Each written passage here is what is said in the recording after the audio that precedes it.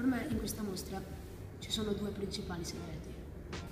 Il primo, molti quadri non sono neanche arrivati all'allestimento della mostra e allora sono stati messi dei poster al posto di essi, però riprendono quella che è l'opera. Secondo segreto sono gli animali.